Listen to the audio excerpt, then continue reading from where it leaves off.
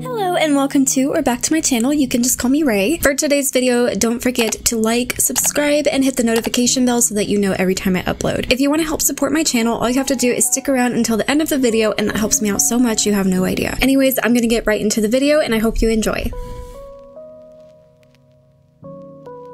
Surprise bitches, it's my face. Sorry if I jump scared you. Featuring my bra, she will be making frequent appearances in this video. Would you believe that I recorded this entire video and I didn't press record?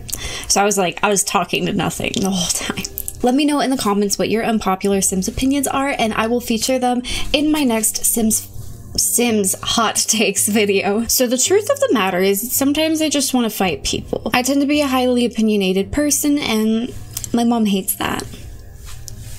But of all things that I could have opinions on, I seem to have many, many, many opinions on the Sims franchise. So let's get into today's video and discuss that. Number one on my list is that The Sims 4 does not need an open world. In my opinion, it was one of the major downfalls of The Sims 3 and why the game lagged at 2 frames per second. Things took longer to render in The Sims 3 than it takes me to cook an entire dinner for 4 people. Of course, there have been games that have been successful at utilizing open worlds. EA is not one of the companies that understands how to do that friends. And I still have low confidence in their ability to execute that. They can't even fix the stove glitch. And some of my toddlers still think that they're in a romantic relationship with their mom. That's not a mod, folks. That's EA. That's their game. I understand completely that it was an error in development with The Sims 3. It doesn't mean that EA would go about it correctly this time. And it should just be entirely avoided at this point because you know that shit will not get sorted out anytime this decade if it gets messed up the first time. I think that conceptually, open neighborhoods would be the safest bet while avoiding the god-awful amount of unfunny loading screens. No, I don't want free earbuds. Am I like the only one that whenever a plane goes by, I like literally think that we're getting nuked? I'm like, ah, this is it. Next up on my list is that The Sims 3 is ugly and I can't play it for that reason. Maybe I'm shallow, but it's just, it's a problem. It's a big problem for me, especially here in 2021. Damn it, we have Red Dead Redemption now. I can never go back. Why are their clothes shiny? Why do they look like that? These textures, they're burning my retinas. What kind of sun casts this god-awful lighting? Am I in hell? People make fun of facial expressions in The Sims 4, but have you seen the Sims 3. This is nothing new. This clay-faced demonic behemoth is the kind of shit that I think the pile of clothes sitting unwashed in the corner of my room looks like at 4 a.m. when I've woken up from a nightmare. Even mods could hardly save these ugly melting individuals, but God bless their souls. Their glossy eyes will literally haunt me until the day that I die. Like when I die and I go to hell for laughing at a kid getting yeeted by their dog, that's what I'm gonna see. Absolutely mental. I can acknowledge that the gameplay is great, but I do have a lot of trauma from the time that I spent in CAS trying to make my Sims look less uncanny valley and I still failed. Whenever I have nightmares, this is how I see people. It's, it's The Sims 3. That's how I see people in my nightmares. So number three on my list is that I despise Snowy Escape.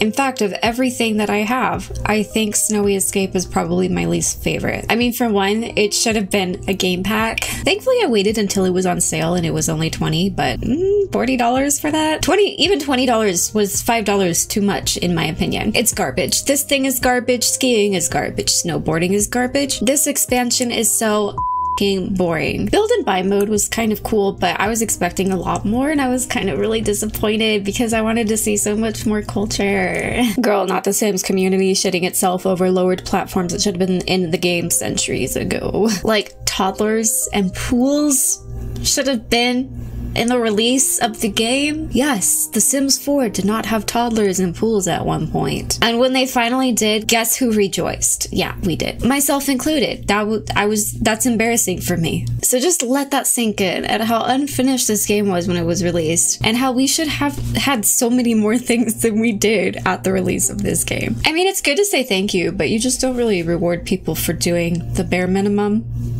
You know, I was pretty excited for this one, seeing that EA was collabing with YouTubers for the builds of this one, and honestly, the builds were the only redeeming part of this pack.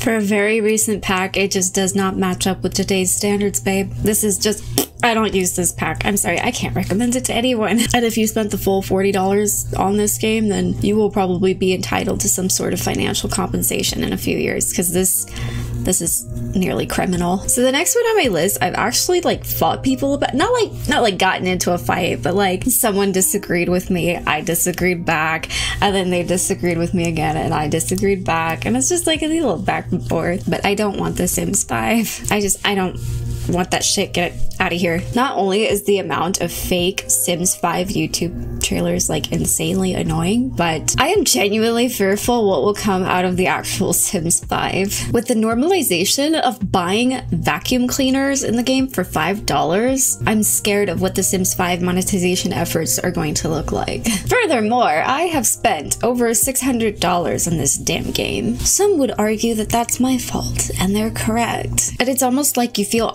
to buy these packs so that you have certain gameplay features. I mean, you're right, I don't want The Sims 5. I'm tired of this. My bank account is tired. My family is tired of me. Just fix this game that I've already spent studio rent on. And then maybe we can start thinking about The Sims 5. I'm so stressed at the idea of EA abandoning this game that they have held me at gunpoint to invest in, just so that I can have Judith Ward show up at my birthday party in a sleazy bar. Why are we paying $5 for Birkin vacuum cleaners? I can't let that one go.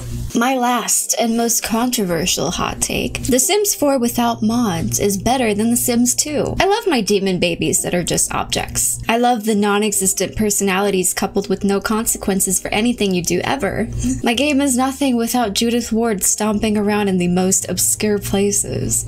I'm kidding. The Sims 4 seven years later is still an incomplete game, and The Sims 2 is the supreme. She will always be queen. Enjoy the realization that you will never ever capture that same childhood nostalgia ever again. Honestly, I still have not come to terms with it. Don't forget to let me know in the comments what your Sims 4 unpopular opinion is. My little bra strap wants to know about it too. If you ever want to make someone uncomfortable in public, all you have to do is just be showing like literally like this much of your bra strap. Thank you so much for watching today's video and I hope you enjoyed it. I will see you in my next video. Bye!